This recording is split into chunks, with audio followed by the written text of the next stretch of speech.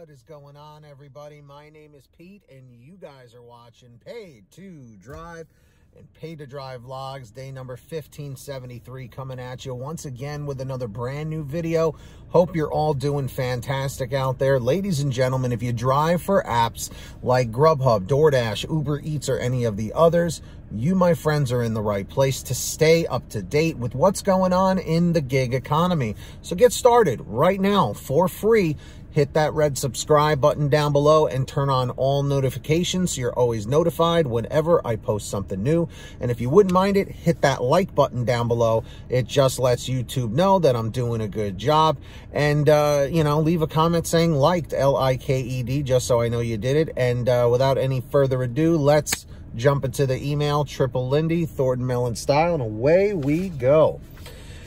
So, everybody, this comes from Nick Venezia. And this is what Nick had to say. He says, Hey, Pete, my name is Nick, and I appreciate all of your YouTube videos. Thank you, Nick. I live in New Jersey, and I have been involved in the gig economy as a DoorDash driver for almost four months, uh, four months now, part-time. I occasionally drive for Grubhub, but they don't keep me as busy as DoorDash. Now, I've said this in the past that DoorDash always seems to be the one that is the busiest in most markets. It usually goes DoorDash, Uber Eats, and then Grubhub is like a close third into almost second place, like Uber Eats, because they've been building up a name for themselves, but it is what it is. Uh, I have over 700 deliveries under my belt and maintain top dasher privileges every month. Although it is not my primary job, I try to treat it as such. Two points I'd like to make. Number one, aren't any of your viewers concerned about the rising cost of fuel? I paid $4 a gallon for regular last night. Would or could these companies add a fuel surcharge or find a better way to compensate the drivers to help absorb the increased costs?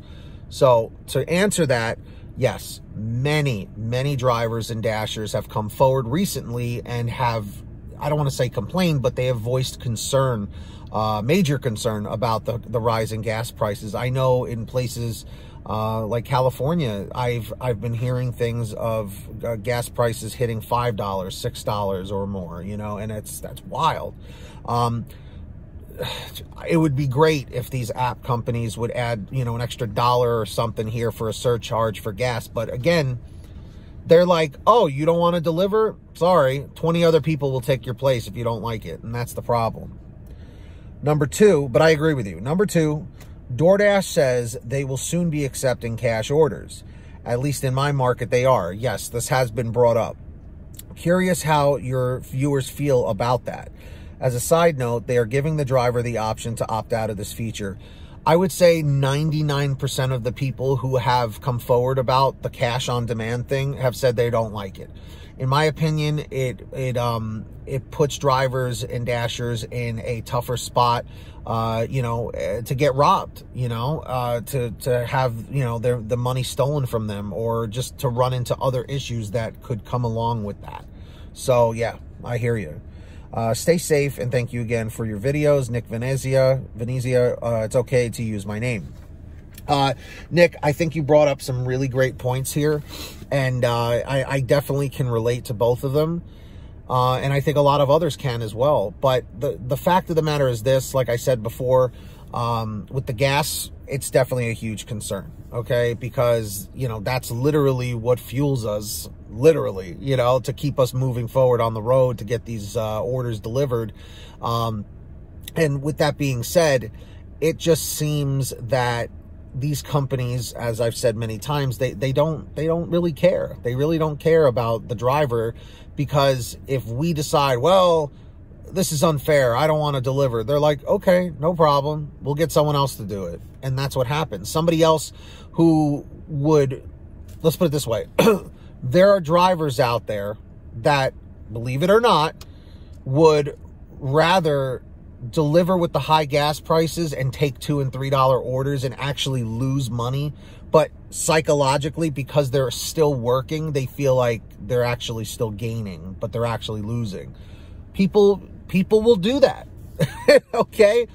It doesn't make sense but just to say that they're working they'll do it you know and it doesn't it doesn't make sense So, drivers, dashers, what are your thoughts on the two points that Nick brought up? Let me know in the chat or the comments. Do you agree? Do you disagree? I want to hear from you. And of course, if you guys out there ever have anything you want to share with me for a video, uh, send me an email. Paid to drive stories at gmail.com. It's the best way to reach me. Information's down below in the description. Uh, or, you know, if you have a question, a topic, a, you know, story, an article, whatever you got, send me an email. Or uh, if uh, you want to have a quicker response from me, you guys can uh, message me through Patreon. Patreon.com slash paid to drive. Link is in the description down below or the pin top comment. Uh, feel free to reach out through there. And uh, anyone who signs up as a patron, as my way of saying thank you, is I give you guys shout outs in all my new videos. And uh, that's what I'm going to do right now. So when you hear your name called, say, hey, Pete, I heard my name.